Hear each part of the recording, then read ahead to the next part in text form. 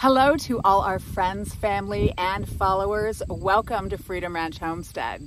Got everything here, at least to stay alive. And the time that we share makes it all worthwhile. Got this place on. Do you feel that we got something strong? And I saw you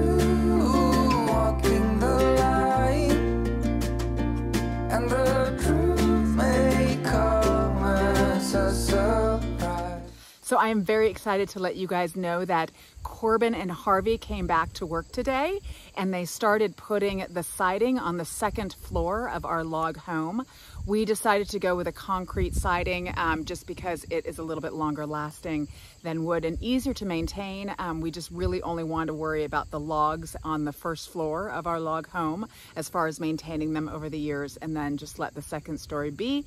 We are so happy to have Harvey and Corbin back at work. So here are the fascia boards that they're gonna be putting on today.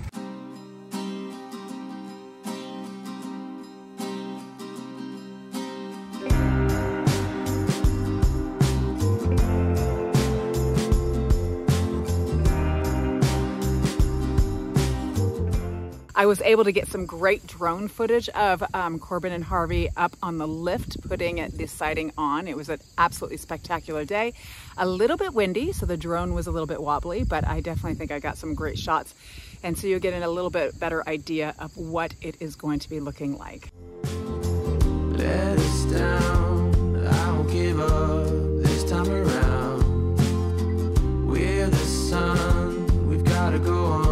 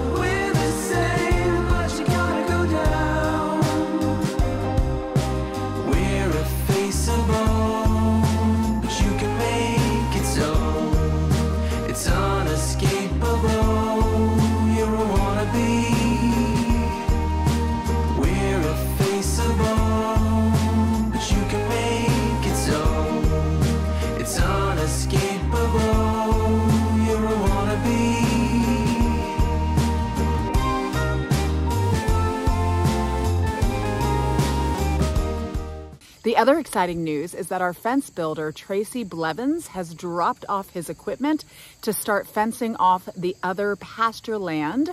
Um, it is going to be a much larger area for the horses and the cattle to roam and eat lots of grass. As you can see, the grass is pretty mowed down. Um, they have done a very good job of grazing it and are definitely overgrazing it at this point. And we realize that, so right now we are supplementing them with hay so that they still get plenty of food to put weight on, especially Trip, who still is showing a little bit of ribs, but he's definitely getting a little bit heavier. What a view we have where we work. Let's see my Studley man move this thing. Oh yeah, baby. Oh no, no, you're joking. you got me. I I did. You did. I was like, whoa, no. Moo! That's terrible. I know. You sound like a cow dying. I used to have a really good cow beller, but my old voice doesn't work like it used to. Out of practice. We hope that Tracy will start pounding those posts in within a day or two. Um, we have marked off the areas where we want to have some gates put in and um, it's going to kind of border all the way around the back area um, by the chicken coop and by the hog pens. We're actually expanding the pig pens into the forest with this new fencing, and so it's going to be really solid for years to come. Chuck and I have also started thinking about where we are going to build our barn on that back area near the chick chicken coop and hog pen. Um, that is a ways off. We still need to build the small horse shelter here on the smaller pasture first and then we'll start working on the bigger barn. But we had a fun time kind of daydreaming about how it, the layout was going to be and um, where the best places for the gates on the fence to be and so we could access the barn easily. So the horses had a mani-pedi this last week. We finally got in touch with a farrier that was able to come out to the ranch.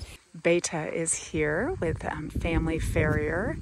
Is this your own business? Did you start this business? That is awesome. And how long have you been in business? Six years. Six years. Okay. So she is out here to give the horses a manicure. She says Jolie is the most in need of help, but we're going to start with Trip and just work our way over. Hey, buddy.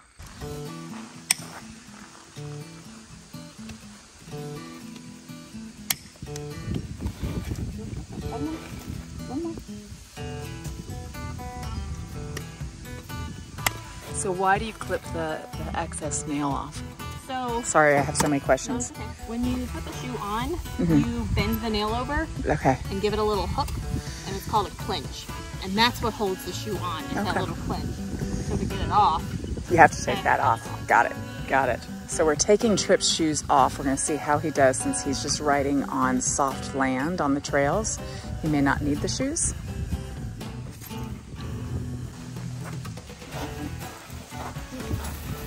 Takes a lot of strength.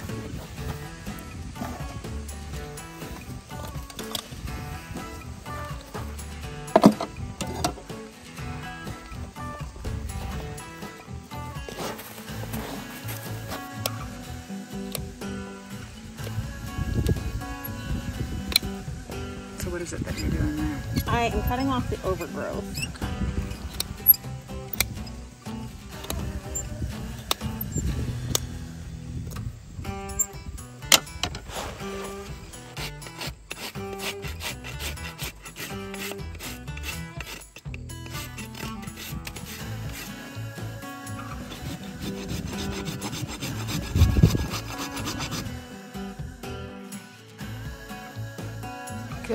Boy, Trip.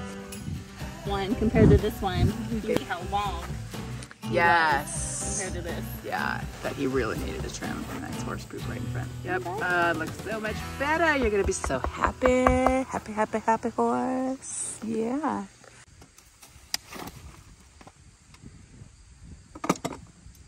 Good try.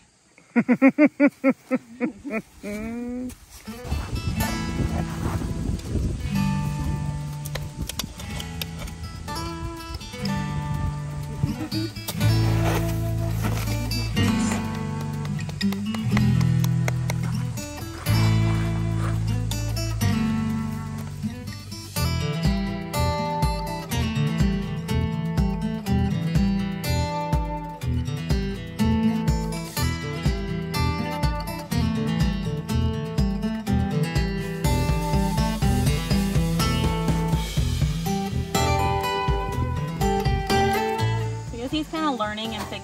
Normally, I would pick his leg up and put it on my thighs. Okay. Um, But since he's learning, you're because not he's learning, I'm not going to do that because it puts me in a more dangerous. Oh, yeah. Okay. So I'm balancing him out, but then I'll do most everything forward Okay. because he gets that big relax. Okay. Okay.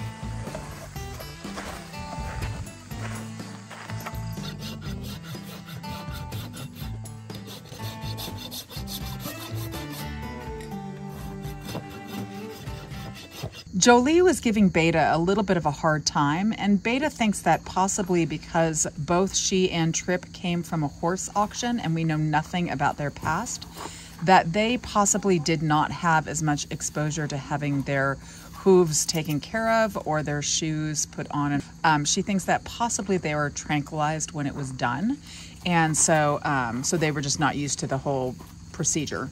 But Beta handled um, Jolie in such an amazing way, and Jolie finally listened to her and got her shoes taken off and her hooves taken care of because they were definitely in need of some TLC.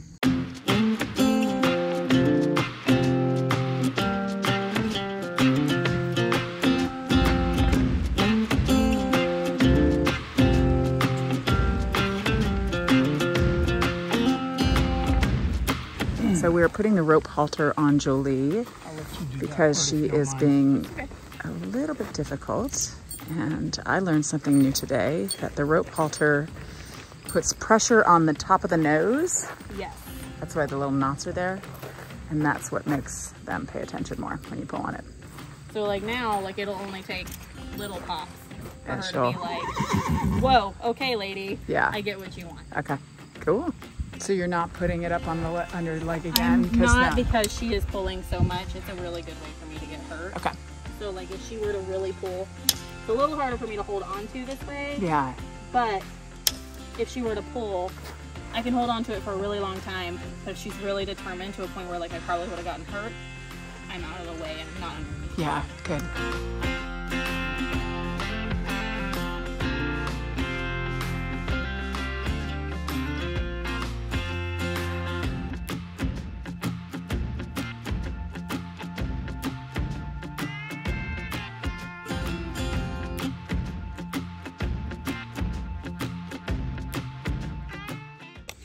So she is gonna have to have a corrective trim. Her heels are a little underslung, which means they're right here. Okay. They're right here. They should be back here. Oh, interesting. So even though because the, the, the shoe was tilting her foot awkwardly, or it's um it's because she's when horses feet grow instead of growing like this they grow like this forward. forward instead so she's got a really long toe with low heels to fix that though i'm going to cut her toe back a little bit further than i normally would um and it like reminds her foot of where it should be Okay. i don't Okay. know why that is like that's the way it just Okay. it's just the way it is i Yeah. don't know why but like back here Is that just because she hadn't here. had? it's the grooming done? she didn't have it done Okay. Okay. So she was much needed this.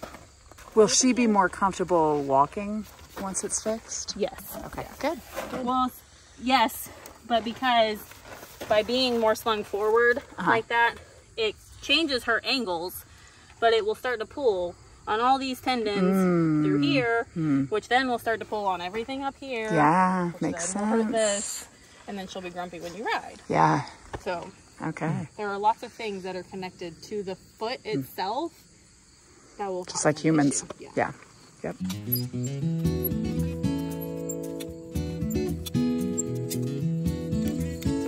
Shorter on the toe than I like I did on him because he's got pretty good angles.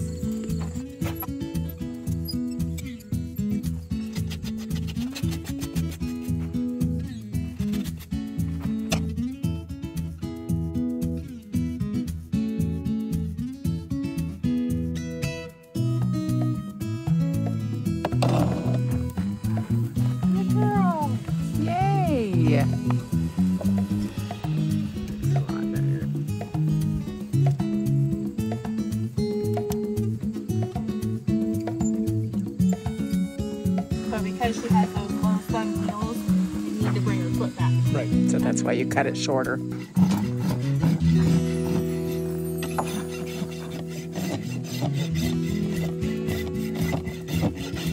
Wow, yeah, it really looks so much better. So That's a hard job, Beta. yeah, Very physical. very. Yeah, yeah.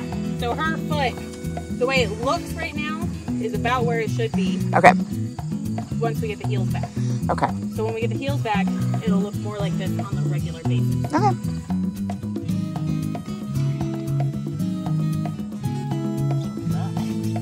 Getting the hang of this, girl? You know how it's all going down?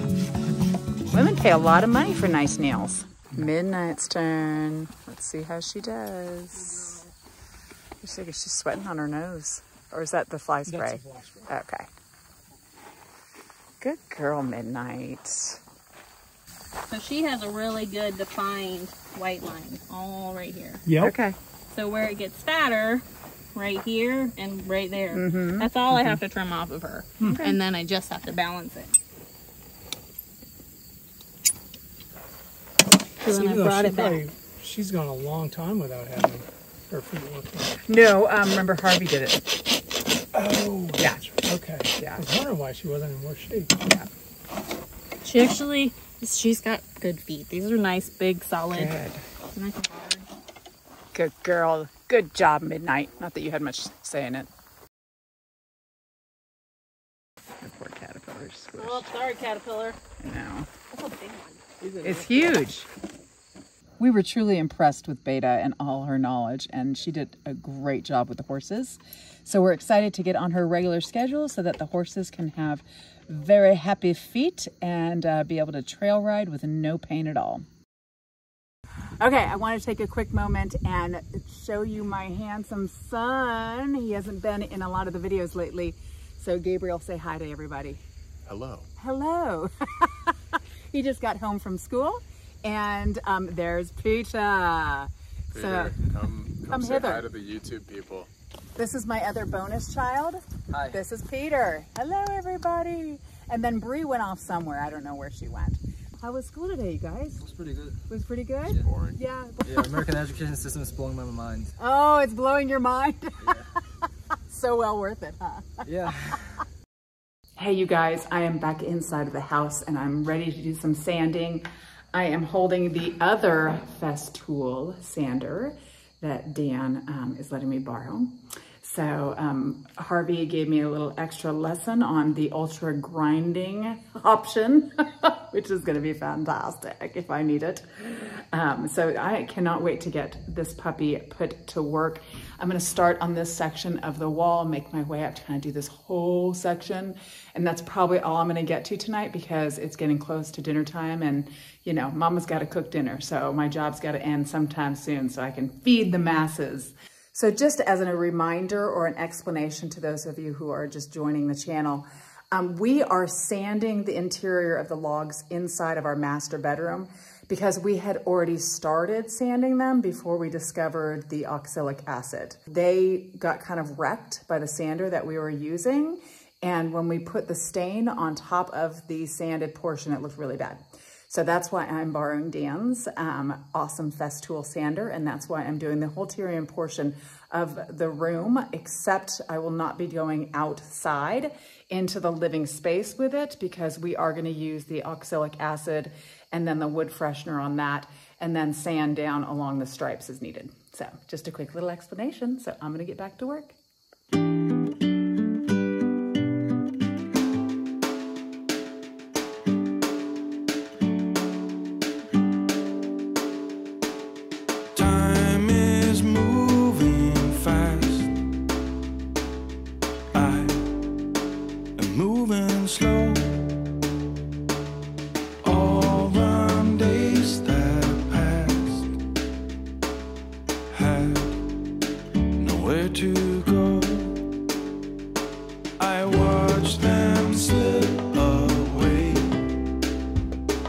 There must be certain boards that depending on which direction they were cut, I'm not sure, but they have a lot more um, texture to them.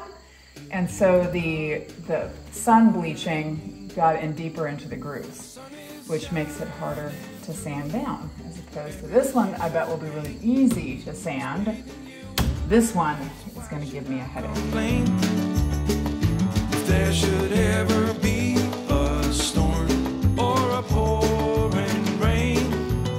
Okay, I'm gonna call it done for the day. I did the logs that I wanted to do for the most part, didn't get all the way up top. Um, a couple of them are definitely gonna need another round of sanding to get them a little bit lighter and a little bit more even looking. And um, I have to say that the Festool sander is a thumbs up. Oh yeah, definitely a lot more powerful and easier to use than the other sanding tools that I have used. So um, maybe for Christmas, hey, hey, hint, hint there, Chucky. Oh, sorry, no, he doesn't like when I film that. Hint, hint there, Chuck. I have made dinner and Sister Beth is back in town, passing through on her way back to North Carolina. And Gabe suggested we come out and eat for the sunset. How was your meal, son? Spot on. So Daughter, did you enjoy it? I like the pork chop. Pork chop were yummy, but not the rice. Oh, it's missing some curry sauce. Mm. But thank you for slaving way more. I know, I did slave away after working all hard today, so. Full and Bree, me, and Peter will take care of the dishes. Love to you. What is Bree gonna do? You better pitch in, dude. mean,